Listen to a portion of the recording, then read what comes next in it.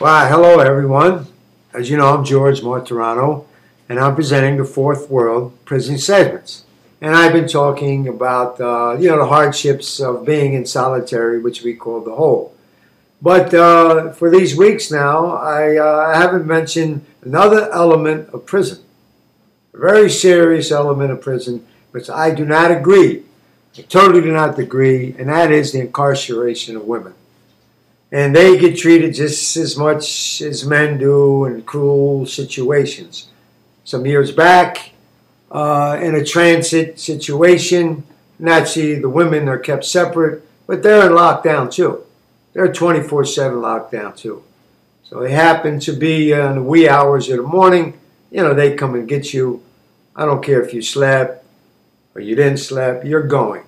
You're going. And I was. Uh, unfortunate enough, fortunate enough to uh, travel, uh, all chained, all chained, was me and uh, several women. And uh, I got to speak to them about, uh, you know, their situations, uh, life, what's going on with their case. And, you know, I relayed much as I could. And I was in already a lot of years, and I don't want to tell them that. I don't want to tell the women that I had been in for over two, two decades. And, uh, you know, I, I, want to tell them I just got arrested and I wanted to instill hope situation. And, you know, when you wake you, you wake a person up two in the morning, one in the morning, especially a woman, even though she's in the, the prison garb and chained up, you know, she would she would like to uh, fix her hair, you know, because she's a woman, and that that wasn't allowed. And and it's a sad situation. We would dress each other. You know, we're chained. We're chained. We would dress each other. They didn't want to give me eye contact because they didn't like the way they, they appeared. And uh, I, I, I consoled them. Uh, I spoke poetry to them. I did the best I could because they're women, ladies and gentlemen. They're women. Anyway, uh, then you, you, know, you get on a bus.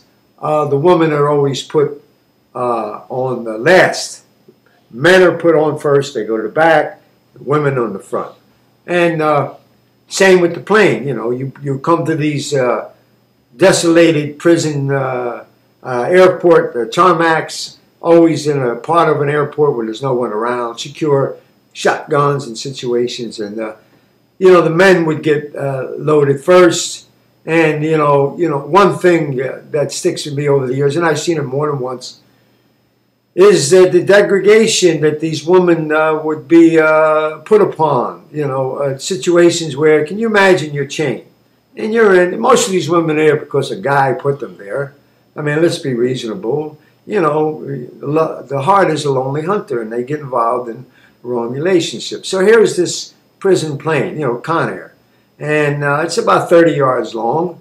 And they, these women have to go the whole 30 yards with men on both sides and uh, and the looks on their faces, you know, uh, the hurt and the shame. You know, it's one thing to be a prisoner. No shame will ever be seen on my face, ladies and gentlemen. But, you know, to put shame on these women's faces and they're paraded. They're actually paraded. And uh, again, I happened to be uh, the row right behind the women, and uh, right away when they sat down, I already I already knew some. Uh, no sense asking their names because we're all numbered human beings. And I would uh, try to make some jest of it. I would tell some jokes. I would try to make them laugh because, uh, you know, their lives are gone. The lives that they known them are gone. Uh, their mothers are gone. Their children are left behind. So I wanted to share that uh, this segment today. That there's women out there who've been through hell also as I and other men.